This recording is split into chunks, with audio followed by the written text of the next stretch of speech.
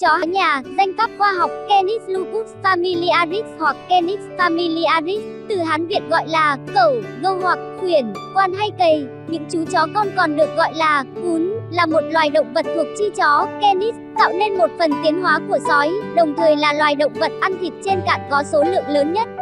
Chó và sói xám thuộc nhóm chị em, giống như những loài sói hiện đại đều không có họ hàng gần đến những loài sói được thuần hóa đầu tiên, đồng nghĩa với tổ tiên gốc của chó đã bị tuyệt chủng. Chó loài động vật đầu tiên được con người thuần hóa và đã được chọn giống qua hàng thiên niên kỷ với nhiều hành vi, khả năng cảm nhận và đặc tính vật lý. Loài vật này được sử dụng để giữ nhà hoặc làm thú chơi. Răng của chúng dùng để giết mồi, nhai thịt và gặm thịt, thỉnh thoảng để cắn nhau. Chó là loài động vật được nuôi nhiều trên thế giới, có thể trông coi nhà, chăn cừu, dẫn đường, kéo xe, cũng là thực phẩm giàu đạm. Chó giúp con người rất nhiều việc như trông nhà cửa, săn bắt và được xem như là loài vật trung thành, tình nghĩa nhất với con người. Ngày nay, nhu cầu nuôi chó cảnh đang được phát triển nên những giống chó nhỏ như Fox, Chihuahua hoặc chó thông minh như Collie được nhiều người chơi quan tâm đến. Lợn là một giống loài được thuần hóa từ loài lợn rừng, được chăn nuôi để cung cấp thịt. Hầu hết lợn nhà có lớp lông mỏng trên bề mặt da. Lợn nhà thường được cho rằng là một phân loài từ tổ tiên hoang dã của chúng là lợn rừng. Trong trường hợp này, chúng được đặt tên sinh học là Sus Scrofa domesticus. Một số nhà phân loại học cho rằng lợn nhà là một loài riêng và gọi tên chúng là Sus domesticus và lợn rừng là S. scrofa. Lợn rừng đã quần hợp với con người cách đây 13.000 đến 12.700 năm. Những con lợn nhà thoát khỏi nơi nuôi dưỡng đã trở về với cuộc sống hoang dã ở một số nơi trên thế giới, ví dụ New Zealand, và gây ra một số hiểm họa môi trường như là loài gây hại và hiện nay vẫn còn sót lại một con lợn có tuổi thọ ngang với con người và thịt của nó ngon nhất đời si cho là từ khoảng 17 tới 30 năm. Sư Panthera leo, tiếng Anh, Lion, là một trong những đại miêu trong họ mèo và là một loài của chi báo được xếp mức sắp nguy cấp trong thang sách đỏ IUCN từ năm 1996. Các quần thể loài này ở châu Phi đã bị sụt giảm khoảng 43% từ những năm đầu thập niên 1990. Trong văn hóa phương Tây, sư tử được mệnh danh là chúa tể rừng xanh, King of the Jungle, hay vua của muôn thú, King of Beasts. Sư tử là loài dị hình giới tính, con đực lớn hơn con cái với phạm vi trọng lượng điển hình từ 150 đến 250 kg, 330 đến 550 cân Anh đối với con đực và 120 đến 182 kg, 265 đến 400 cân Anh đối với con cái là loài lớn thứ nhì họ mèo sau hổ. Sư tử đực có thể dễ dàng được nhận ra từ xa bởi bờm của chúng. Sư tử hoang hiện sinh sống ở vùng châu châu Phi hạ Saharan và châu Á, nơi quần thể còn sót lại cư ngụ ở vườn quốc gia rừng rơ thuộc Ấn Độ. Các phân loài sư tử tuyệt chủng từng sống ở Bắc Phi và Đông Nam Á. Cho tới cuối Pleistocene, khoảng 10.000 năm trước, sư tử là động vật có vú có phân bố rộng thứ hai chỉ sau con người. Khi đó, chúng sống ở hầu khắp châu Phi, ngang qua lục địa Á Âu từ miền Tây Âu tới Ấn Độ và châu Mỹ từ Yukon tới Peru.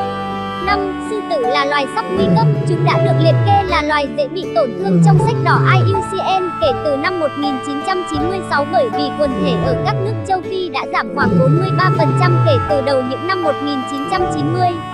Nhiều quần thể sư tử không được bảo vệ bên ngoài những khu vực được chỉ định bảo vệ.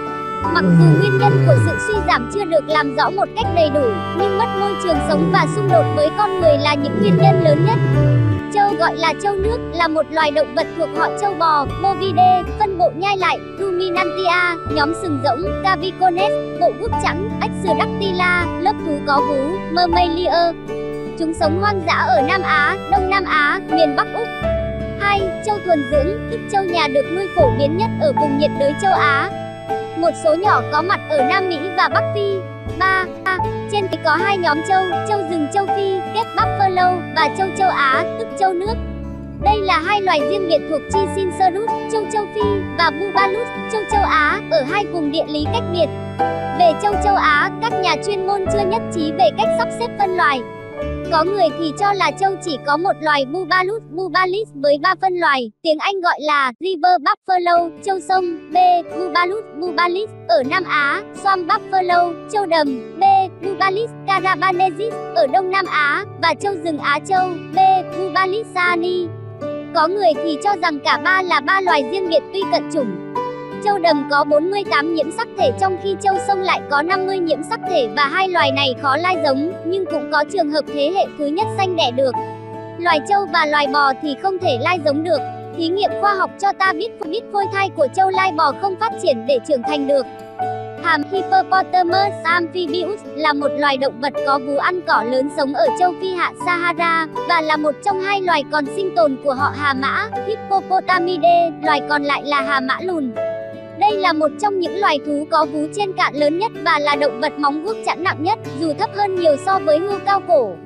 Hà mã là loài sống nửa ở nước nửa trên cạn, cư trú ở các con sông, hồ và các đầm lầy rừng ngập mặn Tây Phi nơi những con đực chiếm lĩnh một đoạn sông và đứng đầu đàn gồm 5 đến 30 con cái và con non.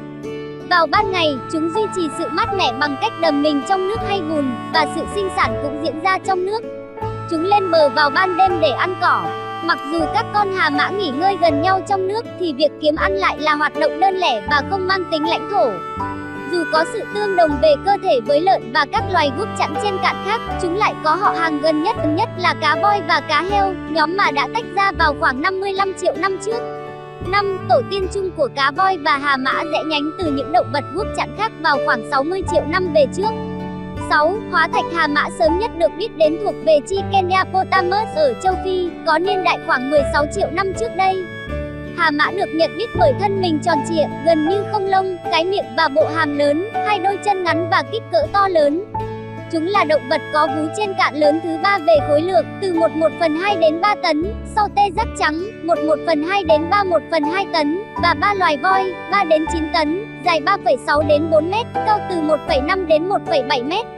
Hà mã là một trong những loài thú đi bằng bốn chân lớn nhất, 7. Dù có hai đôi chân ngắn và thân hình đè bè, chúng lại có thể dễ dàng chạy nhanh hơn con người.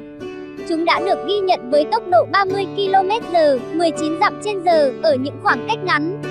Hà mã là một trong những sinh vật hung hăng nhất trên thế giới và thường được xem như một trong những động vật nguy hiểm nhất ở châu Phi. Hiện nay ước tính có khoảng 125.000 tới 150.000 cá thể hà mã ở khắp khu vực châu Phi cận Sahara, Zambia 40.000 và Tanzania 20.000 đến 30.000 là hai quốc gia có quần thể hà mã lớn nhất. Một, chúng vẫn bị đe dọa bởi việc mất đi môi trường sống và sự săn trộm để lấy thịt và những răng nanh bằng ngà. Bò gọi chung để chỉ các loài động vật trong chi động vật có vú với danh pháp khoa học BOS, bao gồm các dạng bò rừng và bò nhà.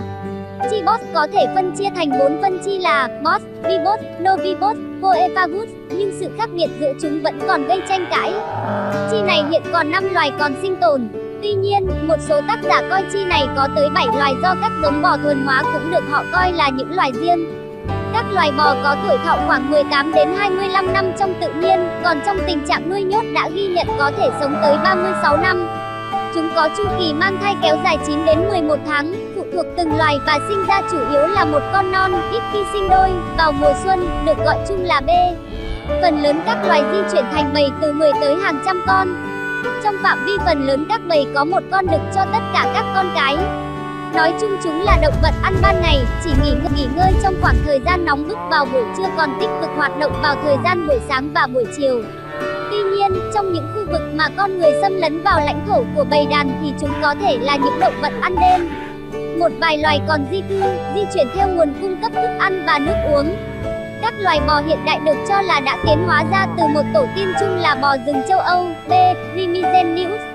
Loài này sống sót cho tới tận thập niên 1600 nhưng rốt cuộc thì chúng đã bị săn bắn đến tuyệt chủng. Voi vật có vú thuộc họ Elephantidae, cận ngành và là động vật trên cạn lớn nhất hiện nay. Ba loài hiện được công nhận, voi đồng cỏ châu Phi, voi rừng châu Phi và voi châu Á. Elephantidae là nhánh duy nhất còn sót lại của bộ Proboscidae. Thành viên tuyệt chủng bao gồm voi răng máu. Elephantidae cũng bao gồm một số nhóm hiện đã tuyệt chủng, bao gồm cả voi ma mút và voi ngà thẳng. Voi châu Phi có tai lớn và lưng lõm, trong khi voi châu Á có tai nhỏ và lưng lồi hoặc ngang. Đặc điểm nổi bật của tất cả các loài voi bao gồm thân dài, ngà, bạt tai lớn, chân to và làn da dày nhưng nhạy cảm. Vòi voi được sử dụng để thở, đưa thức ăn và nước vào miệng và nắm lấy đồ vật nhà tiến hóa từ răng cửa, chức năng làm vũ khí và công cụ để di chuyển chướng ngại vật và đào hố. Hai cái tai lớn duy trì nhiệt độ cơ thể ổn định và dùng để giao tiếp. Chân to như cây cột thì cột giúp tải trọng lượng lớn. Voi có bốn chân lớn để có thể chịu được trọng lượng cơ thể nặng. đầu to, có vòi và ngà. Ngà voi là do hai răng cửa hàm trên biến thành, được dùng để trưng diễn, tự vệ và đào đất kiếm ăn. Răng hàm kiểu màu để nghiền thức ăn. Tai to, bẫy được để quạt mắt hoặc giao tiếp. Máu được làm mát đi khi lưu chuyển qua tai chúng. Voi cái có một đôi vú ở ngực giữa hai chân trước. Voi chủ yếu đi lại bằng đầu ngón chân, gót chân nhấc khỏi mặt đất. Xương bàn chân được bảo vệ bởi một lớp đệm gan bàn chân phẳng và dày chứa các sợi đàn hồi giúp bàn chân của chúng bè ra chống đỡ sức nặng của cơ thể và đi lại không gây ra tiếng động. Cua cổ tên khoa học Zepha là một chi các động vật có vú thuộc bộ guốc trắng, là động vật cao nhất trên cạn và động vật nhai lại lớn nhất. Nó được phân loại trong họ Zephidae, cùng với họ hàng gần nhất còn tồn tại của nó là hươu đùi vằn. Chỉ có 11 loài, bao gồm loài điển hình Zepha camelopadalis, trong số này, có 7 loài tiền sử đã tuyệt chủng được biết đến qua các hóa thạch, còn 4 loài hiện còn sống. Một, tuy Zepha từng được coi là một loài hiện còn có 9 phân loài, các nhà nghiên cứu ADN ti thể của Zepha đã khám phá 4 loài riêng hiện còn sinh tồn. 2, 3. Vì thế, chi Zepha gồm các loài Zepha Zepha, khu cao cổ phương Nam, Zepha Tipperskirti, khu cao cổ Maasai, Zepha reticulata, khu cao cổ Somalia và Zepha camelopadalis, khu cao cổ phương Bắc. khu cao cổ thường sống trên thảo nguyên và rừng thưa. Chúng thích rừng A, rừng Acaceae, Comifora, Combretum và rừng rộng mở Terminalia hơn những môi trường dày đặc hơn như rừng Brachystegia có gà nhà, kê, danh pháp hai phần, Gallus gallus, Gallus gallus domesticus, là loài vật đẻ trứng, là một loài chim đã được con người thuần hóa cách đây hàng nghìn năm. Một số ý kiến cho rằng loài này có thủy tổ từ loài chim hoang dã ở Ấn Độ và loài gà rừng lông đỏ nhiệt đới ở vùng Đông Nam Á. Trong thế giới loài chim, gà là loài vật có số lượng áp đảo nhất với 24 tỷ cá thể, thống kê đến năm 2003. Một, con người thường sử dụng thịt gà, trứng gà và lông gà. Ngoài ra, ngày nay, người ta còn dùng gà để làm các thí nghiệm nghiên cứu khoa học trong các ngành sinh học, vật lý, hóa học. Ngựa tóc hai phần, Equus cabalus, là một loài động vật có vú trong họ Ichthyidae, bộ Perissodactyla, bộ móng vuốt. Loài này được Linnaeus mô tả năm 1758 và là một trong số 8 phân loài còn sinh tồn cho tới ngày nay của họ Ichthyidae. Ngựa đã trải qua quá trình tiến hóa từ 45 đến 55 triệu năm để từ một dạng sinh vật nhỏ với chân nhiều ngón trở thành dạng động vật lớn với chân một ngón như ngày nay.